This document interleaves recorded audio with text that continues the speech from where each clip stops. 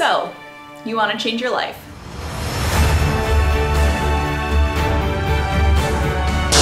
Hold up, hold up. That's actually not quite what I mean. I think one of the most powerful things I've learned is that changing your life is not about making big, important choices like quitting the job, getting accepted to college, moving somewhere new, starting a business.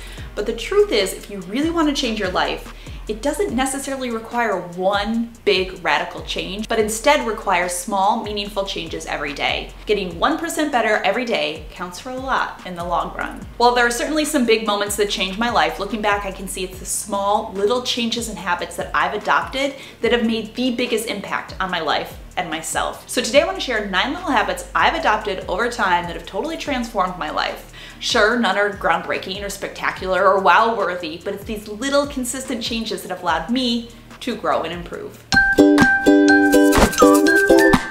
All right, habit number one, I almost hate to even say it because you're gonna be like, oh my God, I'm so tired of people saying this, but that is waking up early. I know you've probably heard this like a bajillion times, but the truth is waking up early has changed my life and there's no getting around it. So here we are. It is one of the habits that changed my life.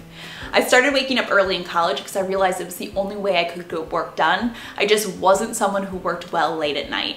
I loved having a little quiet time in the morning to start my day. And as I got a little older, I used these mornings to start blogging and making YouTube videos well, I had a full-time job and ultimately that led me to being able to quit my job, to work full-time for myself as a blogger and YouTuber. And when I became a mom, these mornings became a very key component to my day, allowing me some time to check in with myself, have a little time for me before starting the day with my babies, where I usually had very little time to myself. And as a mom, this me time has been so important to my mental and emotional health. So overall, you can see just how key these mornings have been for me. Being able to get up early and start my day is a little habit, but it has led to so many big and important changes in my life.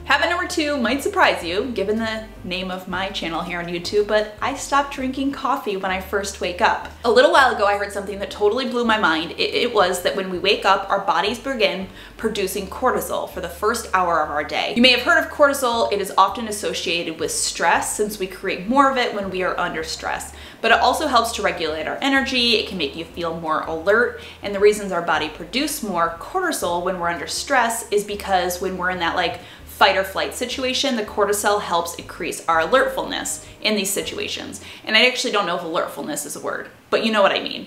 It's why our body naturally produces cortisol in the morning.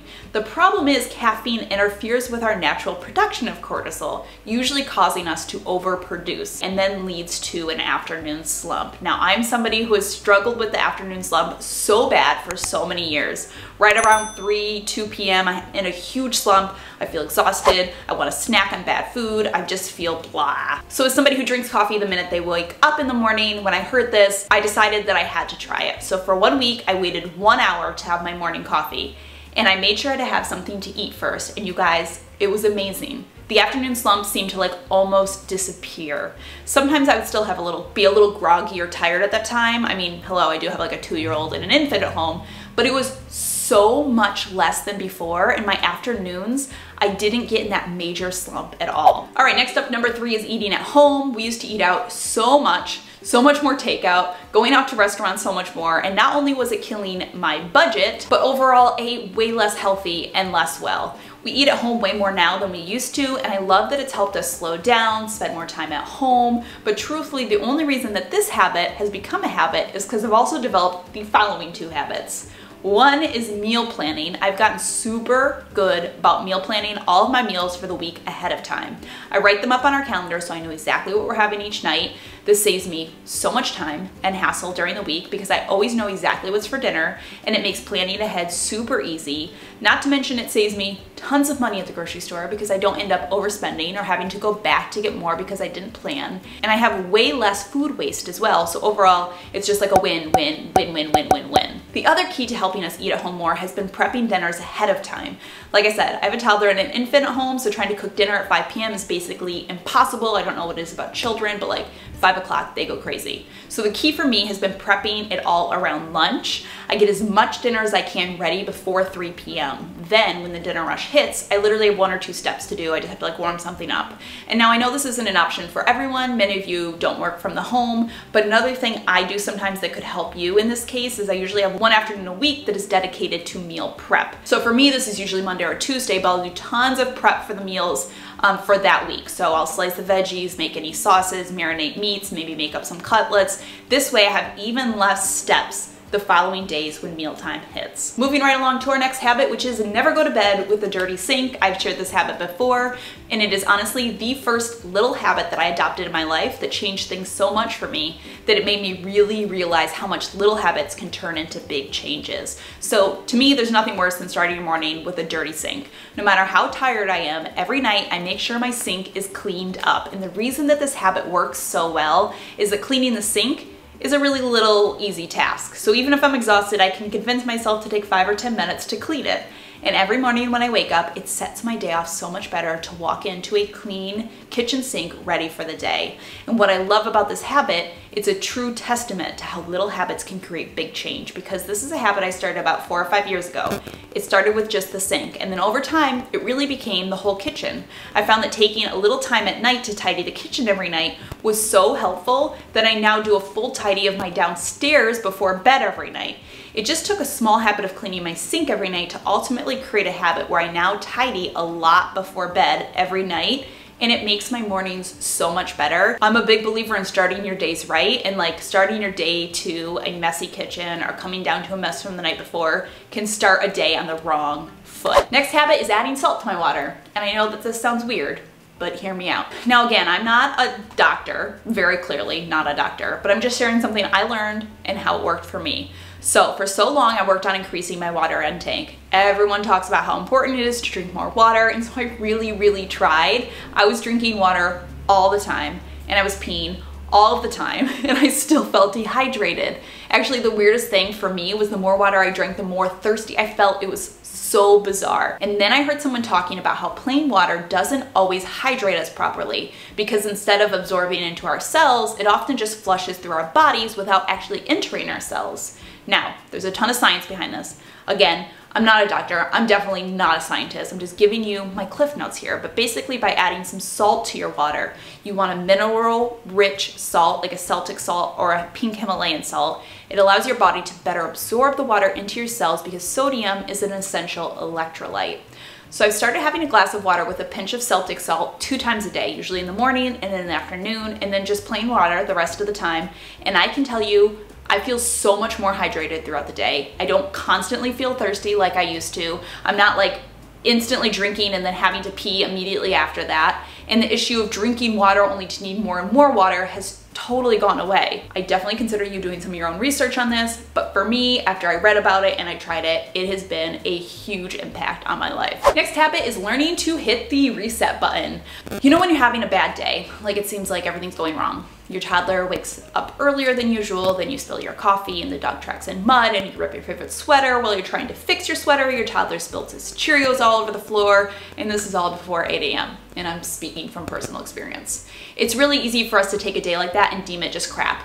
But this is where hitting the reset button comes in. Basically the idea is instead of writing off the whole day as bad or hard or unchangeable because of a bad moment or series of moments, you decide right then and there, right in the heat of things, to push the reset button and start over. Here's the thing.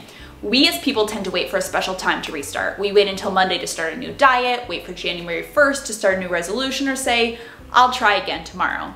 The reason people do this is because these are like concrete time markers. They indicate past and present.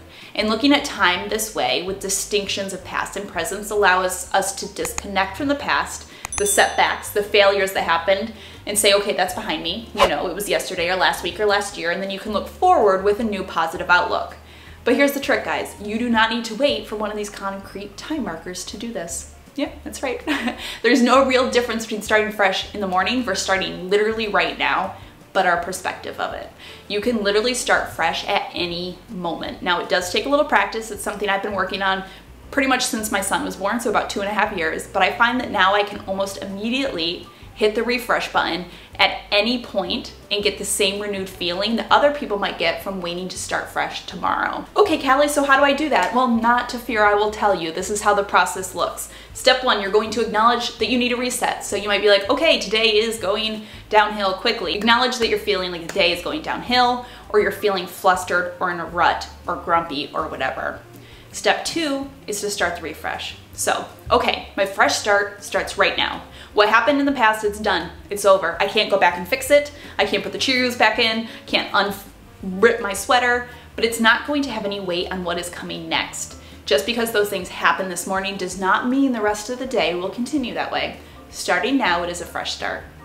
Like I said, it's gonna take a little practice to do this, but the more you do it, the more you'll find how it works and the more successful you'll be at it. And a little trick that I find helps when you first start um, trying to practice doing the reset button is to pair your reset with some type of feel-good event.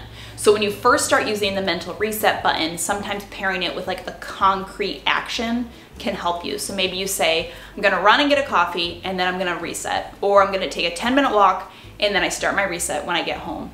Again, this helps our brain distinguish the past the, versus the present so we can move forward and focus on the future. All right, my ninth and final habit is becoming an obsessive list maker. I make lists for all of the things, and the reason for this is I'm just in a season of my life where I wear a lot of hats. I'm a mom and a wife and a homeowner and a blogger and a YouTuber and more on top of that. And there's usually never less than like 500 tabs open in my brain at any given moment of all the things I need to do and have to get done and all of that. So I've started making lists for everything I need to do, no matter how little. And the reason is because 99% of the time when I think of something I have to do, I'm not in a position where I can currently do it. So what I used to happen is I would think of something I have to do, then I would forget, and then a few days later I'd remember again that I had to do it but not be able to do it, and then I would forget, and you see where this is going? So now the minute something pops into my head, I write it down.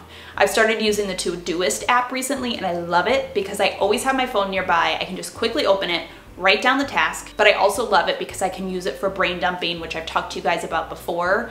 Sometimes we just have tons of tabs open in our brain. It's overwhelming. So brain dumping is the process of emptying all of those thoughts out. So whenever I feel overwhelmed, like there's too much to do on my plate, I don't know when I'm gonna get to it, I open my Todoist app and I brain dump just everything I need to do and wanna get done.